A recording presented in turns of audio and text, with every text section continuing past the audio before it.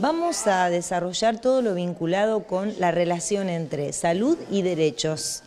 En que esto parece extraño, pero no lo es, ya que eh, en la medida en que conocemos y vamos accediendo a nuestros derechos, es decir, a nuestras facultades, bienes, servicios, oportunidades, ¿no? entendiendo la palabra derechos en sentido amplio, podemos desarrollar una vida de calidad y esto incide en la salud.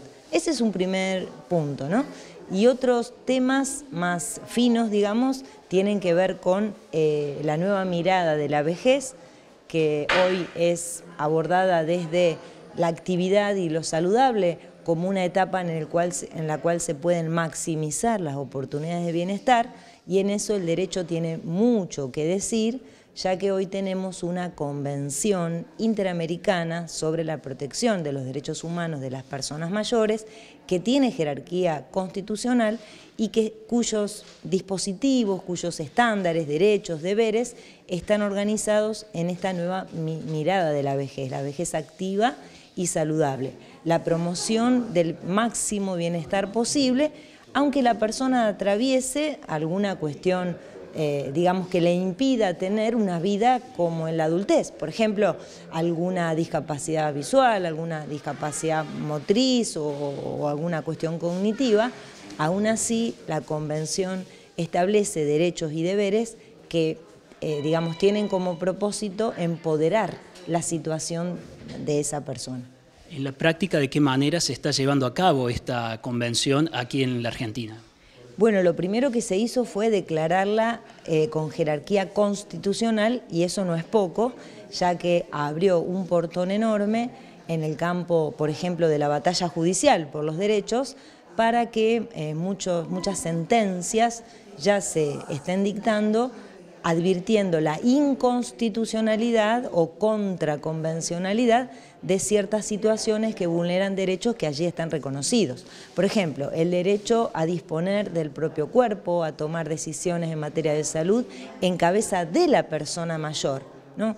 ¿Por qué cuando soy una persona mayor y voy al profesional de la salud acompañado de un familiar, hijo o hija en general, ese eh, profesional de la salud le habla al familiar? Y no le habla a la persona mayor. Ese pequeño gesto ya es un indicador de la mirada negativa de la vejez. Se parte del supuesto de que la persona mayor no entiende nada, es incompetente, bueno, no está en condiciones de, escuchar la voz de una, una, persona profesional. Y entonces me dirijo a esta que es más joven. ¿Por qué? Ahí hay un, lo que dice la convención, es una discriminación por vejez, un viejismo. ¿Eh? que es un sesgo negativo que está tan incorporado en la vida cotidiana, en el imaginario colectivo, y entonces cada vez que me, vinculo, me relaciono con alguien que tiene canas, que tiene aspecto de alguien muy, muy viejo, ¿eh? por ejemplo, una persona de 80 y más, con un aspecto más frágil, corporalmente hablando, eh, o con un andar más lento, o eh, quizás que no ha podido ayornarse a la tecnología, que ese es otro gran problema que tenemos y que hace a la salud mental, eh, bueno, damos por hecho que no va a entender nada. Entonces le hablo al joven.